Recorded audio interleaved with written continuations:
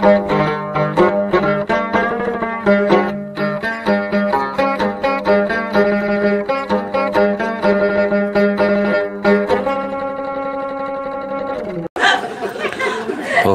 ខ្វះប្រហែលជា80អ្នកទៀតគ្រប់100ព្រោះថ្ងៃនេះទេសនានៅក្នុងផ្ទះតែហ្មងញោមមិនទេសលើផ្ទះទេណាបើទេសលើបើទេសលើផ្ទះយើងនៅលើដបូលផ្ទះអញ្ចឹងគឺយើងទេសនៅក្នុងផ្ទះតែហ្មងថ្ងៃនេះអាហ្នឹងយើងនិយាយឲ្យវាត្រូវអញ្ចឹងព្រោះញាតិញោមខ្លះថាលោកមកមិនតាន់បែបលោកមកឆាន់មិនតាន់បែបលោកឆាន់លើឡានអីចឹងណាអាត្មាតែឆាន់លើឡានធ្លាក់បាក់កងាប់ព្រោះយើងនៅលើដបូលនៅឆាន់បានហើយ ហើយឬក៏ញោមថាឆាន់តាមឡានឆាន់តាមឡានក៏ឆាន់មិនបានព្រោះឡានវាឆាន់សាំងហើយបើលោកឆាន់តាមឡានមិនលោកឆាន់សាំងឆាន់មកសុទ្ធអាហ្នឹងងាប់លោកអដែលញោមចឹងទេថ្ងៃនេះគឺបានមកដល់ផ្ទះម្ចាស់ប៉ុនក៏មានសទ្ធាបានចង្ហាន់ហ្នឹងក៏ឆ្ងាញ់ឆ្ងាញ់ទៀតក៏បានប៉ុនកន្លែងហ្នឹងឯងញោមសិតតែពោះគោទឹកផ្អកអីណា អឺមានជាតិវីតាមីនណាហ្នឹងហើយឆ្ងាញ់ហើយមានចង្ហាន់អីបបោណាប៉ុនយើងធ្វើឲ្យមានបញ្ញាអញ្ចឹងញោមប៉ុនមិនមែនថាលោកប្រកបបជាអីចង់ឆ្ងាញ់ចង់អីមែនទេ តែបើញោមប្រកេនរបស់ឆានមិនកើតក៏លោកមិនឆានដែរមិនលោករើសទេមិនលោក ប្រកាន់ទេតែវាគ្មានជាតិមែនតែដល់របស់នេះវាក្រនបើអញ្ចឹងណាញោមចឹងគេថាអ្នកធ្វើបុណ្យគេឲ្យធ្វើឆ្លាតហ្នឹងឆ្លាតរបៀបម៉េចយល់កិច្ចការងាររយៈជ្រៅចឹងបានអ្នកខ្លះចេះតែចង់ធ្វើបុណ្យចង់ធ្វើទានប៉ុន្តែអត់មានបញ្ញាធ្វើដោយខ្វះការពិចារណា មិនចេះចាត់ចែងនៅចង្ហាន់អាហ្នឹងក៏មិនមែនជារឿងល្អដែរយើងត្រូវយល់ថាតើអ្វីដែលគួរអ្វីដែលមិនគួរអាហ្នឹងបានថាយើងនឹងអ្នកធ្វើបុណ្យអ្នកធ្វើទានច្បាស់ពីព្រោះយើងមិនមែនប្ររូបធ្វើមួយខែ30ថ្ងៃទេ គឺយើងធ្វើតម្រាំគិតបានធ្វើហ្នឹងយើងគិតគ្នាយូរហើយដែរអញ្ចឹងយើងត្រៀមអ្វីដែល គួរអ្វីដែលមិនគួរដោយនៅក្នុងពេលនេះដែរម្ចាស់ដើមទៀនប្រធានដើមប៉ុននេះក៏មានសទ្ធាមុតមមក្នុងពុទ្ធសាសនាក៏បានប្រពធ្វើពិធីបន់ខួបជូនចំពោះលោកឪពុកញឹមយាននិងបន់គម្រប់ខួប100ថ្ងៃដល់យានគង់ព្រមទាំងញាតដែលបានស្លាប់ ហើយមួយទៀតគឺជូនចំពោះអ្នកម្ដាយនេះ ដែលនៅ មានជីវិតរស់នៅសពថ្ងៃដែលគាត់មិនព្រមទៅណាសោះនេះគឺដើម្បីឲ្យគាត់មានជីវិតរស់នៅយឺនយូរញោមណាព្រោះដល់រដូវកាលនេះរដូវកាលចិត្តនឹងចូលឆ្នាំអញ្ចឹងយើងធ្វើមុនចូលឆ្នាំអាត្មាថាល្អជាងព្រោះក្នុងថ្ងៃចូលឆ្នាំពិបាកណាស់ញោម ពិបាកថងថាប្រសង់លោកត្រូវនៅរៀបចំចាំទទួលញាតញោមនៅវត្តដល់ញោមកញ្ឆក់អលិចកញ្ឆក់ឲ្យកើតអត់មានលោកនៅវត្តបានថាថ្ងៃតំណេមកកណោមិននាំគ្នាធ្វើដល់ធ្វើធ្វើចាំអាថ្ងៃលោករវល់អាហ្នឹងពិបាកទៀតញោមអាហ្នឹងត្រូវគិតឡើងនឹងឡើងវិញទៀតណាហ្នឹងយើងធ្វើមុនអញ្ចឹងល្អឬក៏រួចពីចូលឆ្នាំល្អព្រោះហ្នឹងរឿងពិតអញ្ចឹងញោមព្រោះ អាត្មាចំណាំមើលអញ្ចឹងលោកពេលខ្លះមួយថ្ងៃលោកមួយអង្គឯងមានបើនៅខាងម្ដុំអង្គរបរិយអាត្មាធ្លាប់គង់នៅ ក្នុងមួយអង្គដើរ5 6រោង6ផ្ទះគាត់ដល់សង្កទៀនបាំងស្គូលហើយសោតមន់ទៀតណាវាធ្ងន់នឹងសោតមន់ទៀតអាត្មាកាលប្រហែលឆ្នាំមុនហ្នឹងដែលនៅហ្នឹងគិតទៅសោតចេញពីវត្តម៉ោង7ព្រឹក ចូលវត្តវិញម៉ោង10យប់3ថ្ងៃគ្មានស្គាល់ពាក្យថានៅវត្តហើយដល់អញ្ចឹងទៅវាពិបាកអញ្ចឹងបានអាត្មាថាចុកគ្រោះចង្រៃអីមានតែថ្ងៃចូលឆ្នាំអញ្ចឹងចុះមុនចូលឆ្នាំមុនលោកសោតឲ្យហើយទៅចូលឆ្នាំហើយមុនលោកសោតឲ្យហើយទៅវាចំតែថ្ងៃចូលឆ្នាំហ្នឹងអញ្ចឹងទេជុំកូនចៅក៏មិនត្រូវអញ្ចឹងណាហ្នឹងហើយ ប៉ុន្តែបើចង់អស់ចង្រៃហ្មងស្រួលទេចង់ជុំកូនចៅមុនអញ្ជើញម៉ែឪស្រោចទឹកឲ្យវិញអាហ្នឹងល្អវិញព្រោះគ្មានអីខ្លាំងជាងព្រះម៉ែឲ្យព្រះឪគ្មានទេប្រសងគ្រាន់តែលោកជាស្រែបនរបស់ពុទ្ធបរិស័ទប៉ុន្តែអាចជួយញោមមិនខ្លាំងដូចម៉ែឪទេអារឿងគ្រោះចង្រៃនោះបើថាម៉ែឪ គ្រាន់តែស្រោចទឹកមិនចេះធូរអីសូតែអ្នកម៉ូ3ដងនិយាយជាខ្មែរកូនបានសុកចម្រើនតិចតិជុំរោគស៊ីមានបានតណាមកណា គេស្រឡាញ់គេគោរពរាប់អានកូនឲ្យសុខសបាយជួបតែសេចក្តីសុខអសាធុយោតនឹងខ្លាំងជាងលោកសូត្រធัวទៀតម៉ែឪនោះម៉ែឪនឹងចឹងបានព្រះសម្មាសម្ពុទ្ធព្រះអង្គសម្ដែងថាបពតេវាបពាចា ជាអាចារ្យដើម ជាព្រះព្រំជាព្រះអរហន្តហ្នឹងអ្នកណាគឺម៉ែហើយឪនឹងហើយចឹងទេបើសិនជាចង់បានសេចក្តីសុខតិចតិជុំខ្លាំងគឺចេញពីម៉ែចេញពីឪនឹងហើយឥឡូវដល់ពេលរដូវកាលចូលឆ្នាំប្រយ័ត្នប្រយ័ត្នថ្វាយទេវតាមិនចំអាត្មាប្រាប់ ទេវតាខាងក្រៅក៏ឲ្យថ្វាយដែរមិនហាមឃាត់ទេជាទំនៀមទម្លាប់ប៉ុន្តែប្រយ័ត្នអត់ទេវតាខាងក្នុង ទេវតាខាងក្នុងពាក្យថាទេវតា គឺអ្នកដែលថែរក្សារក្សាយើងតាំងតែពីនៅក្នុងពោះគាត់រហូតដល់យើងកើតចេញមករហូតដល់យើងចេះកលាប់ចេះវាចេះដើរចេះរត់ចេះចូលរៀនអីគ្រប់បែបយ៉ាង ទេវតាណាអ្នកថែរក្សាយើង គឺទេវតាម៉ែទេវតាឪប្រយ័ត្នថ្វាយទេវតាមិនចំហើយទេវតាឆ្នាំនេះសោយប្លែកញោមអញ្ចឹងបានមេចេះក្តៅទេវតាឆ្នាំនេះសោយងៀតគោណែឃើញគេបង្ហោះមកអញ្ចឹងគេថាសោយងៀតគោដែលក្តៅប្រហែលថ្ងៃចឹងបែកក្បាលហ្នឹងគឺទេវតាកំពុងអាំងសាច់គោទៅឋានលើអេដល់ មានគេនិយាយតាម Facebook គេថាចេះគេថាបានជាមេឃក្តៅព្រោះទេវតាឆ្នាំហ្នឹងសោយងៀតគោអញ្ចឹងមេឃក្តៅខ្លាំងហ្នឹងគឺទេវតាកំពុងអាំងសាច់គោនៅឋានសួគ៌នោះដល់អញ្ចឹងបានជះចំហាយក្តៅមកយើងនេះណាហេអញ្ចឹងបានចម្លែកមែនញោមឃើញពងមានគេចុះផ្សាយទៀតណាទេវតាឆ្នាំនេះវាចម្លែកមែនញោមសោយងៀតគោរវិញអញ្ចឹងបានងៀតគោលក់ដាច់ងៀតកបីលក់មិនសូវដាច់ ប៉ុន្តែយ៉ាងណាក៏យ៉ាងណាទៅប៉ុន្តែផ្ដាំថាទេវតាម៉ែទេវតាឪនេះចូលឆ្នាំ3ថ្ងៃមកលេងគាត់ហ្នឹងមានកៅអាវមានបច្ច័យ4មានផ្លែឈើមានរបស់របរអីកំដរដៃបត់ជើងថ្វាយអង្គមគាត់3ដងលើកជូនគាត់ហើយសុំពួយជ័យពីគាត់គាត់ឲ្យពួរឲ្យជ័យទៅតិចតិជុំសុខសบายបាត់គេណា ហើយបើយើងចង់ងូតទឹកឲ្យព្រះគឺងូតទឹកឲ្យម៉ែឪរាល់ថ្ងៃ3ថ្ងៃហ្នឹងមកមួយថ្ងៃងូតម្ដងមួយថ្ងៃងូតម្ដងជូនគាត់ចាំបាច់ដល់ថ្ងៃទី3បានងូតទឹកទៅអីណាសំខាន់ណាញោមមានឪពុកម្ដាយនៅរស់ហ្នឹងអ្នកខ្លះអត់មានម៉ែឪនៅរស់ហ្នឹងពិបាកទៀតហើយចង់បានសេចក្តីសុខសេចក្តីចម្រើន ធ្វើបុណ្យច្រើនតែភ្លេចព្រះរស់ភ្លេចទេវតាដើមអាហ្នឹង អាចារ្យអ៊ូចំគេថាបនផ្កាប់មុខឬបនចោលស្រុកព្រោះដើរផ្លូវឆ្គងបនមន្ត្រកាលវិសាលាយ៉ងព្រោះដើរកន្លងឲ្យម៉ែឪអត់អញ្ចឹងតែម៉ែឪអត់បននឹងផ្កាប់មុខបានតលោកម៉ែឪអត់ក៏បនផ្កាប់មុខដែរព្រោះយើងធ្វើបនក្បត់ព្រះគឺក្បត់ម៉ែក្បត់ឪមិនបានបនទេ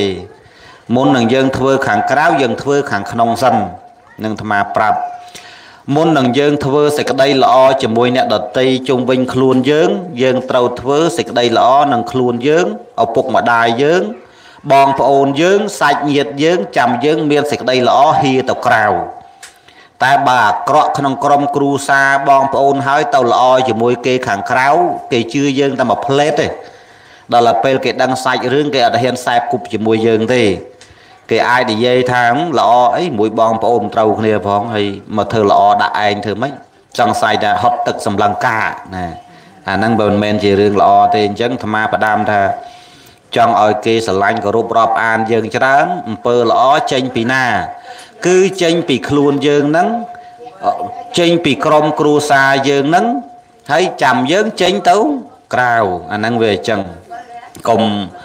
ល្អតែមើលតែមិនល្អស៊ីនោះណាអាហ្នឹងវាមិនល្អទេហ្នឹងហើយដូចថ្ងៃនេះអញ្ចឹងគឺយើងល្អទាំងព្រមហ្នឹងថ្ងៃនេះព្រោះមួយប្រសង់ឲ្យយើងធ្វើបន់តាមអឺគេហៅថារបៀបរបបអ្នកកាន់ពុទ្ធសាសនាហើយជាពិសេសគឺជូនចំពោះអ្នកដែលបានស្លាប់ទៅហើយមួយទៀតគឺជូនចំពោះអ្នកម្ដាយដែលនៅមានជីវិតចឹងប៉ុនថ្ងៃនេះធ្វើតែមួយក្តោប3 4នៅតំណឹងទាំងអស់ ហើយយើងមិនមានធនធានច្រើនដូចគេយើងធ្វើតាមលទ្ធភាពចឹងទៅហើយអាត្មាមិនទៅប្រកាន់ថាមនុស្សច្រើនមនុស្សតិចអីញោមតែមន់តាមន់សំដែងគឺសំដែងហើយមិនចេះប្រកាន់ទេសំខាន់ឲ្យតែញាតញោមចង់ស្ដាប់ពីព្រោះការសំដែងនេះវាសំខាន់ដែរញោមមិនខុសពីលខោនទេបើសិនជាប្រឹងសំដែងពេញមួយយប់អត់មានអ្នកមើលលខោនក៏គ្មានកម្លាំងសំដែងដែរ ទោះទល់តែមានអ្នកទស្សនាយ៉ាងណាមិញការសំដែងធម៌របស់ធម្មកថាកាចាអ្នកទេសនាបន្ទាល់តែអ្នកស្ដាប់នឹងស្ដាប់ចូលចិត្តដោយគោរពបើសិនជាស្ដាប់មិនគោរពមិនចូលចិត្តក៏មិនដឹងសំដែងរបៀបមិនដែរវាត្រូវទោសអ្នកទេសអ្នកសំដែងនឹងទៅទៀតអាហ្នឹងគឺវាអញ្ចឹង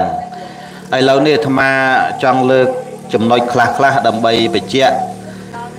កូនចៅ ជាពិសេសជូនចំពោះអ្នកម្ដាយ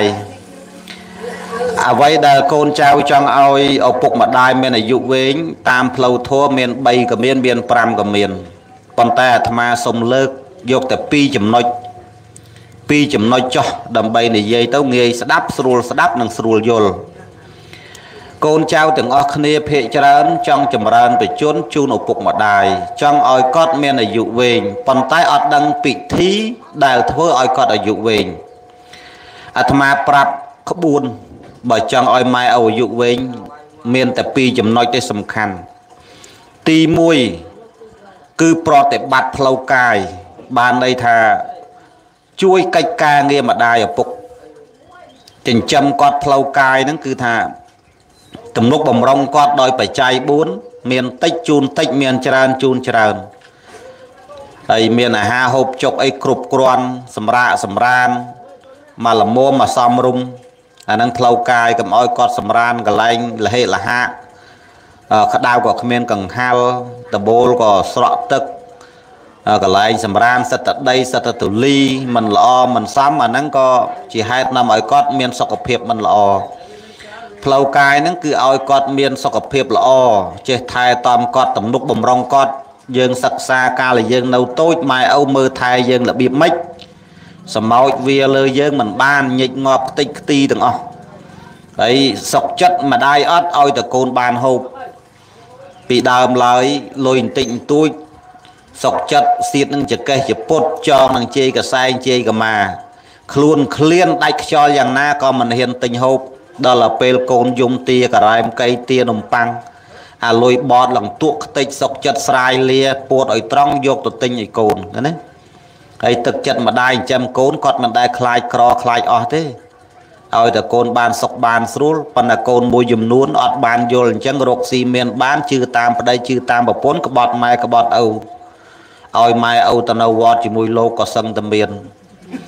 ខ្លះទៀតហ្នឹងទៅនៅវត្តមិនមែនទៅនៅដោយចិត្ត ជ្រះថ្លាទេញោមសើបឲ្យដឹងមែនទែនគឺកូនគេបោះបង់ចោលណាកូនគេបោះបង់ចោលខ្លះទៀតម៉ែឪរៀងវែងកូនគេដឹកម៉ូតូហើយយកទៅលេងចោលនៅវត្តព្រោះគាត់មិនដឹងថាផ្ទះនៅឯណាគាត់សួរទៅមិនដឹងថានៅឯណាមកដល់វត្តហ្នឹងអញ្ចឹងព្រោះតាមពិតកូនគេដឹកតាំងពីប្រលុកទៅនេះអំពើទាំងអស់ហ្នឹងគឺសុទ្ធតែទទួលវិញហើយអ្នកដែលធ្វើបាបឪពុកម្ដាយយ៉ាងណាគឺទទួលបានវិញយ៉ាងនោះมันអាចកិច្ចផុតជិះរួចដាច់ខាត គេថាកុកភ្លេចជុងតែជុងមិនដែលភ្លេចកុកអ្នកដែលធ្វើបាបឪពុកម្ដាយត្រូវមានកូនធ្វើបាបតវិញដោយប្របាទអាជាតសត្រូវឬអាជាតសតុធ្វើបាបឪពុកខ្លួនឯងដល់ទៅពេលបានកូនមកវិញធ្វើបាបខ្លួនឯងវិញអាហ្នឹងវាតគ្នាអញ្ចឹងអ្នកញាតិញោមពុទ្ធបរិស័ទគេណាសុទ្ធតែរឿងកម្មកម្មងពីជាងកម្មជាពូជកម្មងសត្វទេសត្វមានកម្មជារបស់ខ្លួនគេណា ណាអត់បើកអត់អាចគេចផុតជិះរួចដាច់ខាតទេហ្មងអញ្ចឹងទេយើងមានម្ដាយនៅមានជីវិតនេះ គឺយើងត្រូវប្រតិបត្តិចិញ្ចឹមបីបាច់ថែរក្សាគាត់ដោយបច្ច័យទាំងឡាយ4មិនមានដាច់អាហ្នឹងចង់ឲ្យគាត់អាយុវែងអាហ្នឹងមើលកន្លែងហ្នឹងឲ្យមែនទេចំណុចទី2ចង់ឲ្យគាត់អាយុវែងគឺឲ្យគាត់សុខសប្បាយផ្លូវចិត្តនេះសំខាន់ណាផ្លូវចិត្តហ្នឹងយមមនុស្សយើងអាយុខ្លីមកអំពីចិត្តហ្នឹងវាមិនសុខ បើចិត្តហ្នឹងព្រមទទួលសេចក្តីសុខគឺយើងអាយុវែងហើយសុខសบายតើបងតែបើចិត្តយើងវាចេះតែខ្វល់ខ្វាយចេះតែកើតទុកចេះតែគិតច្រើនចេះតែពិបាកច្រើនអាយុមិនវែងទេញាតិញោមខ្វះអីអ្នកមានស្រុកស្ដំកូនគេសិតតែធ្វើការលុយវល់លេនដុល្លារតែម្ដាយឪពុកគេអាយុខ្លីដោយសារអីដោយសារកូននឹងវាមិនចោះសម្រងនឹងគ្នាកូននឹងវាឆ្លោះតោះតេងគ្នាអឺ ដល់កូនមិនត្រូវគ្នាអ្នកពិបាកចិត្តអ្នកណាម៉ែឪហើយម៉ែឪសម្រាប់សម្រួលកូនមិនព្រមត្រូវគ្នាទៅទៀតអញ្ចឹងមានអីមានអាម៉ែឪក្រំចិត្តហើយដល់ក្រំចិត្តដល់គេសួរថាម៉េចបានឈឺកូនមានសឹងអីថាទេអាផ្លូវកាយវាមិនខ្វះអីហូបទេប៉ុន្តែផ្លូវចិត្តដាក់ថ្នាំត្រូវមនុស្សយើងចេះតែអាយុខ្លីឆាប់ស្លាប់ដោយសារចិត្តវាមានរោគដែរញោមហើយរោគផ្លូវចិត្តនេះរោគថ្នាំណាដាក់មិនត្រូវទេញោមមានតែធម្មោអោសថោទេមានតែពធัวទេ ដែលយើងសិក្សាយកធัวទុកក្នុងចិត្តយើងពិចារណាហើយអាហ្នឹងចិត្តហ្នឹងវាសុខស្ងប់ចិត្តព្យាបាលដោយធัวបានហើយអាហ្នឹងលេងអីអាយុវែងចឹងបានមានញោមមួយចំនួនគាត់ឈឺដេកពេទ្យគាត់ស្ដាប់ឡុងយន្តាដែរគាត់ថាស្ដាប់ទៅរៀងធូរស្បើយស្ដាប់ទៅរៀងស្រឡះក្នុងចិត្តពួកគាត់ដើរតាណាមរួចដេកពេទ្យឡើង3ខែដល់ពេលស្ដាប់សបាយស្ដាប់សបាយចិត្តចឹងទៅវាអារម្មណ៍ចិត្តវាសបាយផងវាឆាប់ជាជំងឺហ្នឹងដល់ពេលគាត់ជា ទេមករੂអាត្មាបដ ாய் សុំរាប់អានសុំស្គាល់អីចឹងទៅហើយគាត់និយាយរៀបរាប់តាំងពីគាត់ដេកពេទ្យ3ខែហ្នឹងគាត់មិនដឹងដើរទៅឯណាបើកចុះបើកឡើងប៉ះដេកគុណឡុងចន្ទថាហ្នឹងស្ដាប់ចឹងទៅអញ្ចឹងបានថាណែប៉ុនបានអាកន្លែងធ្វើឲ្យគេសុបាយចិត្តណាប៉ុនណាញោមហ្នឹងកុំច្រឡំអីសោះណាបើនិយាយឲ្យគេពិបាកចិត្តនិយាយឲ្យគេឆាប់ស្លាប់បាបទៅវិញទេអញ្ចឹងបានអាត្មាចូលចិត្តនិយាយឲ្យញោមមានគេហៅថាសុបាយខ្លះអីខ្លះអញ្ចឹងទៅដើម្បីអី ដើម្បីឲ្យញោមមានអារម្មណ៍ក្នុងការស្ដាប់ហើយបញ្ញាក់ស្មារតីញោមផងតែដល់យើងនិយាយបែបកំសត់កំសត់កំសត់កំសត់ស្រក់ទឹកភ្នែកថាឯងវាកើតទុកដល់មកស្ដាប់លោកទេទុកលើសអាមកស្ដាប់ទៀតទៅវិញភ្នែកហើមប៉ោបប៉ាន់ប៉ាន់មេជើង កូនក៏សួរម៉ែកើតអីលោកទេកំសត់ពេកអញយំគេថាលោកនេះទេស្គូតស្គួតទៀតទេម៉ែគេយំកាច់បកិនមានដឹងអីទៀតញោមចឹងអត់ទេ គឺយើងត្រូវមានគេហៅថាគេថាទេសនាវាមានអាណាទេសនាបរមត្តទេសនានិងវោហាទេសនាវោហាទេសនានឹងទេសតាមតាមបច្ចេកទេសទេសតាមទេពកសលទេសតាមចំណេះជំនាញយើងត្រូវបញ្ចេញបញ្ចូលនិយាយរបៀបម៉េចឲ្យពុទ្ធបរិស័ទគេស្ដាប់គេចាប់អារម្មណ៍បាន គេទទួលយកបានទេសនាដែលមានអត្តន័យខ្លឹមសារគឺគេស្ដាប់បាន គេទទួលយកបាន គេចូលចិត្តគេពេញចិត្តអាហ្នឹងទេសមានន័យហើយ ហើយបើសិនជាសំដែងទៅគ្មានន័យនិយាយធូរឡើងល្អិតសុខខុមអូពីនេះពីនោះប៉ុន្តែអ្នកស្ដាប់គេបន់ឲ្យតែចប់គាត់តែចប់ហើយគេមិនចង់មើលមុខទៀត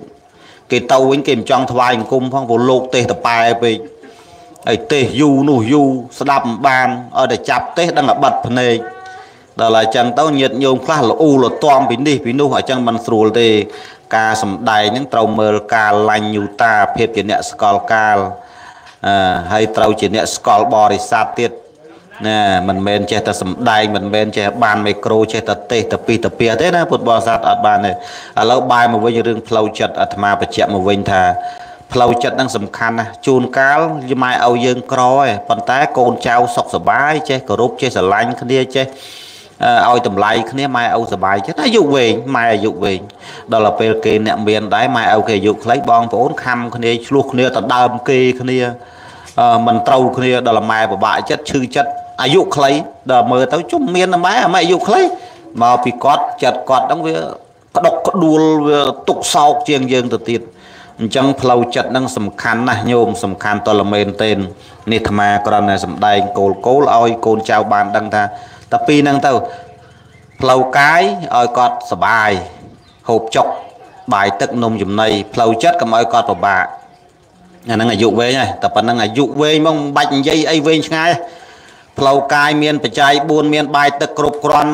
ពិសាគ្រប់គ្រាន់ចង់ទៅបន់ទៅទៀនគេនឹងក៏គ្រប់គ្រាន់ដល់ផ្លូវចិត្តมันពិបាកចិត្តកើតទុកឲ្យរឿងកូនឆ្លោះគ្នាអញែងអីអូតែប៉ុណ្្នឹងអាយុវែង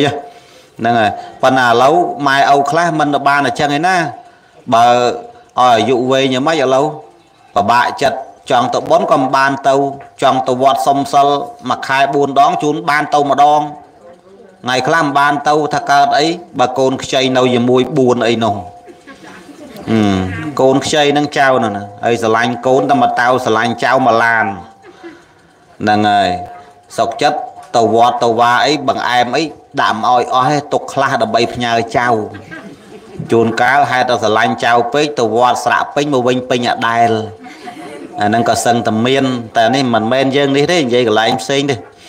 អឺចឹងនេះអាហ្នឹងដោយសារអីដោយសារចៅដល់ទៅពេលចៅខូចម៉ែគេវាយបដៅ